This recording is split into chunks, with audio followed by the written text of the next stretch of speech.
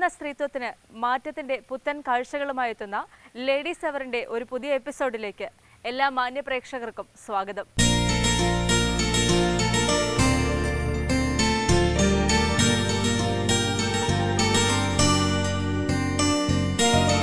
സ്വപ്രയത്നത്താൽ സമസ്ത മേഖലകളിലും വിജയം കൈവരിച്ച സ്ത്രീ മനസ്സുകളെ കാട്ടിത്തരുന്നു സ്മാർട്ട് ലേഡി.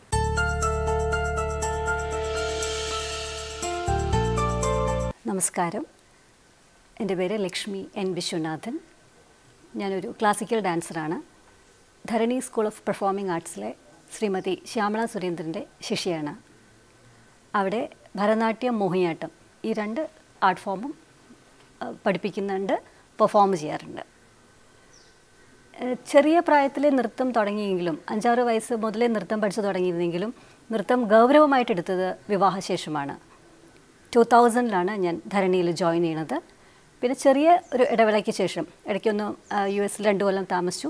തിരിച്ചു വന്ന് ടു തൗസൻഡ് സിക്സ് മുതൽ ഇത്രയും കാലം റെഗുലറായിട്ട് ധരണിയിൽ പോവാറുണ്ട്.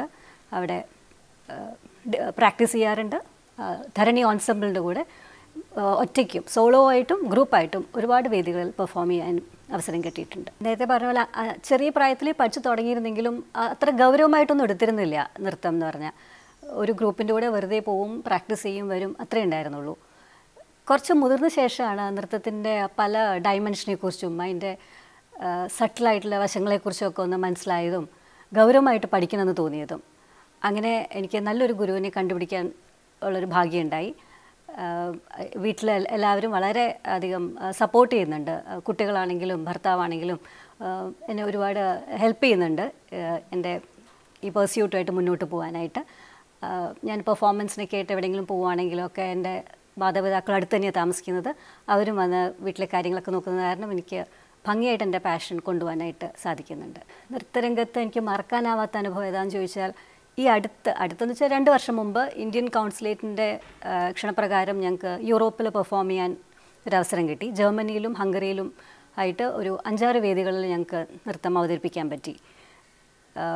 അപ്പോൾ അവിടെ ഞങ്ങൾ ചെറിയൊരു പേടി ഉണ്ടായിരുന്നു. ആൾക്കാർക്ക് നമ്മൾ നമ്മുടെ ഭാഷയൊന്നും മനസ്സിലാവുമോ നമ്മുടെ തത്വമസി എന്ന് പറഞ്ഞ ഒരു പ്രൊഡക്ഷനാണ് ധരണിയുടെ ഞങ്ങൾ അവതരിപ്പിച്ചത്. അയ്യപ്പന്റെ കഥ.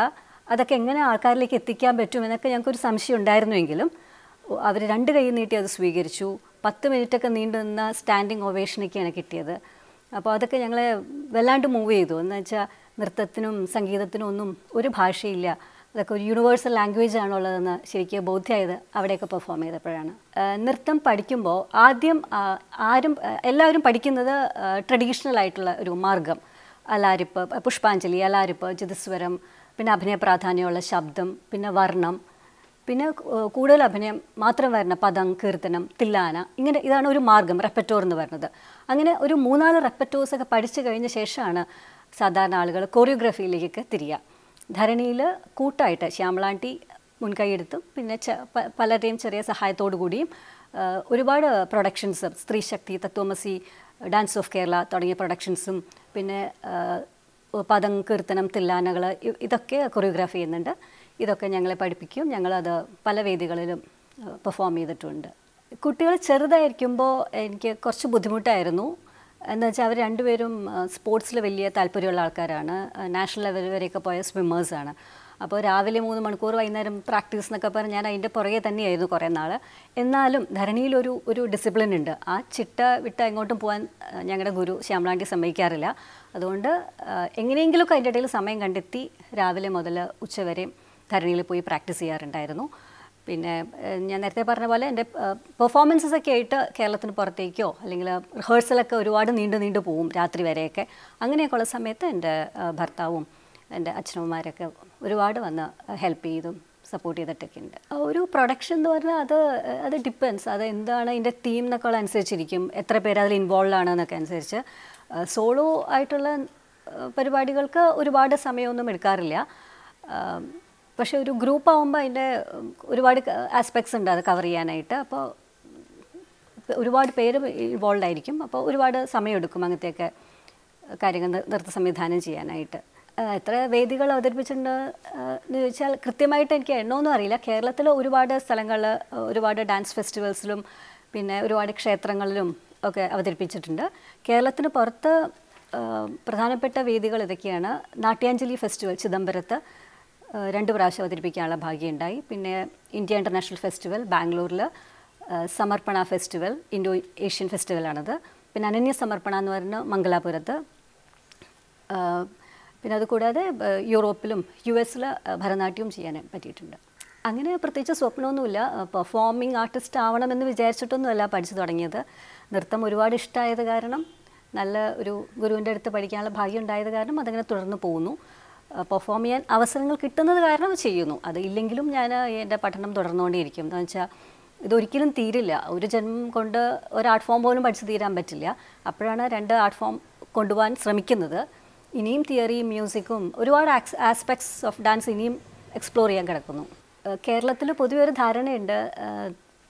നൃത്തമൊക്കെ ഒരു ചെറിയ പ്രായത്തിൽ പഠിക്കേണ്ടതാണ് എന്നൊക്കെ. ഞാനും ആദ്യം പഠിച്ചു തുടങ്ങിയപ്പോൾ എല്ലാവരും തെറ്റിച്ചൊളിച്ചിരുന്നു ഇത്രയും ചെറിയ കുട്ടികളൊക്കെ ഉള്ളപ്പോഴും എന്തിനാണ് ഇനിയും ഇത്ര ബുദ്ധിമുട്ടിയൊക്കെ ഇങ്ങോട്ട് വരുന്നത് ഒരു കോമ്പറ്റീഷനും ഒന്നിനും പങ്കെടുക്കാനും ഒന്നും പറ്റില്ലല്ലോ എന്നൊക്കെ. പക്ഷേ എന്റെ ധരണിയിൽ ഒരുപാട് പ്രൊഫഷണൽസും ഹോം മേക്കേഴ്സൊക്കെ വരുന്നുണ്ട്. നൃത്തത്തിന് വെറുതെ ഒരു എക്സസൈസിനോ അല്ലെങ്കിൽ ആളുകളെ എന്റർടൈൻ ചെയ്യാനുള്ള ഒരു സാധനം മാത്രമല്ല അതിന് ഒരുപാട് വശങ്ങളുണ്ട്. നമ്മളെ സ്പിരിച്വലി ഒക്കെ അപ്ലിഫ്റ്റ് ചെയ്യുന്ന ഒരുപാട് ഘടകങ്ങളുണ്ട് നൃത്തത്തിന്. അപ്പോൾ നൃത്തം പഠിക്കാനായിട്ട് ആഗ്രഹമുള്ള വീട്ടമ്മമാരൊക്കെ ഉണ്ടെങ്കിലും അവരൊക്കെ ഈ വേദി ഈ- രംഗത്തേക്ക് വരണം. പണ്ട് പഠിച്ച് ഉപേക്ഷിച്ച് യൂത്ത് ഫെസ്റ്റിവൽ സമയത്തൊക്കെ പഠിച്ച് നിർത്തിയ ആൾ ആൾക്കാരുണ്ടെങ്കിലും ഈ ഈ തിരിച്ചു വരാം. അതിനൊരു പ്രായമൊന്നും ഒരു തടസ്സമാവരുത് ഒരിക്കലും. അത് എനിക്ക് ഒരു ബുദ്ധിമുട്ടായിട്ട് തോന്നിയിട്ടില്ല. ഞാനത് കൂടുതലും കുടുംബത്തിനാണ് പ്രാധാന്യം കൊടുക്കുന്നത്. വെച്ചാൽ കുട്ടികൾ ഈ പറഞ്ഞ പോലെ രണ്ടുപേർക്ക് ഒരുപാട് സ്പോർട്സും കാര്യങ്ങളും ആക്ടിവിറ്റീസൊക്കെ കാരണം ഞാൻ പഠിപ്പിക്കാറില്ല. പഠിക്കലും പെർഫോമൻസും മാത്രമേ ഉള്ളൂ. അപ്പോൾ അതുകൊണ്ട് എന്റെ ആഫ്റ്റർനൂൺസ് ആൻഡ് ഈവനിങ്സ് ഞാൻ വീട്ടിലെ കാര്യങ്ങൾക്കായിട്ട് മാറ്റിവെക്കും രാവിലെ മുതൽ ഉച്ച വരെ ധരണി പോയിട്ട് റെഗുലറായിട്ട് പ്രാക്ടീസ് ചെയ്യാറുണ്ട്. എന്റെ ഭർത്താവ് വിശ്വനാഥ് മേനോൻ എൻജിനീയറാണ് കുട്ടി രണ്ട് കുട്ടികൾ ഗൗരി പാർവതി. ഗൗരി പതിനൊന്നാം ക്ലാസ്സിൽ പഠിക്കുന്നു പാർവതി ഒമ്പതാം ക്ലാസ്സിൽ ഗ്ലോബൽ സ്കൂളിലെ വിദ്യാർത്ഥികളാണ്. രണ്ട് ശാസ്ത്രീയ നൃത്തങ്ങളാണ് ധരണിയിൽ അഭ്യസിപ്പിക്കുന്നത്. ഭരതനാട്യം മോഹിനിയാട്ടം. ഭരതനാട്യം ആദ്യം കുറച്ച് വർഷങ്ങൾ പഠിപ്പിച്ച ശേഷം ഞങ്ങളുടെ ഗുരു ഞങ്ങളെ മോഹിനിയാട്ടം ഇൻട്രൊഡ്യൂസ് ചെയ്യാറുള്ളൂ. ഭരതനാട്യത്തിന് കൂടുതൽ ചടുലമായ മൂമെന്റ്സ് ആണ്. കൂടുതൽ അനന്ത സാധ്യതകൾ ഭരതനാട്യത്തിലാണ്. ഭരതനാട്യത്തിൽ കൂടെ എക്സ്പ്രസ് ചെയ്യാൻ പറ്റാത്തതായിട്ടൊന്നുമില്ല എന്നാൽ മോഹിനിയാട്ടത്തിന് അതിന്റെ ചെറിയൊരു ലിമിറ്റേഷൻ ഉണ്ടെങ്കിലും അതിന്റെ വശ്യമായ സൗന്ദര്യം വേറെയാണ്. നാട്യശാസ്ത്രത്തിലെ ലാസ്യം എന്ന് പറഞ്ഞ ആസ്പെക്റ്റിന് പ്രാധാന്യം കൊടുത്തിട്ടാണ് മോഹിനിയാട്ടം. രണ്ടും വളരെ മനോഹരമായ കലാരൂപങ്ങളാണ്. ഇതിൽ ഏതാണ് കൂടുതൽ ഇഷ്ടം എന്ന് ചോദിച്ചാൽ പറയാൻ പറ്റില്ല. ഇനി പഠിച്ചുകൊണ്ടിരിക്കാനാണെങ്കിൽ നമുക്ക് ഏത് പ്രായം വരെ പഠിച്ചുകൊണ്ടിരിക്കാം പെർഫോം ചെയ്യണമെങ്കിൽ നമുക്ക് അങ്ങനെ പ്രത്യേകിച്ച് പറയാൻ പറ്റില്ല. ഇന്ന പ്രായം വരെ പറ്റുള്ളൂ എന്ന്. എൺപത് വയസ്സിന് ശേഷം വൈജന്തിമാല ബാലി ഇപ്പോഴും പെർഫോം ചെയ്യുന്നുണ്ട്. പണ്ഡിറ്റ് ബിർജു മഹാരാജ് ഇവരൊക്കെ എത്ര പ്രായമായിട്ട് ഈവൻ ഞങ്ങളുടെ ഗുരു ശ്യാമള സുരേന്ദ്രൻ തന്നെ അറുപത്തി ഒമ്പത് വയസ്സായി. ഇപ്പോഴും മോഹിനിയാട്ടം ഞങ്ങളുടെ ഒപ്പം തന്നെ ഞങ്ങളെക്കാളും ചടുലമായിട്ട് ആത്മാർത്ഥമായിട്ടൊക്കെ പെർഫോം ചെയ്യും സ്റ്റുഡൻസിന്റെ കൂടെ.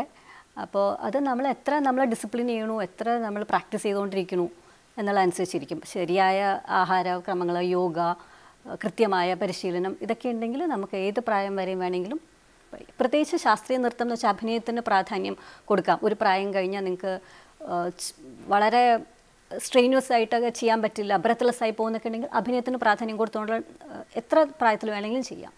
അമ്മന്നൂർ മണിമാധവ ചാക്യാരൊക്കെ ഒരുപാട് തൊണ്ണൂറ് വയസ്സ് വരെയൊക്കെ പെർഫോം ചെയ്തിരുന്ന ആളാണ്.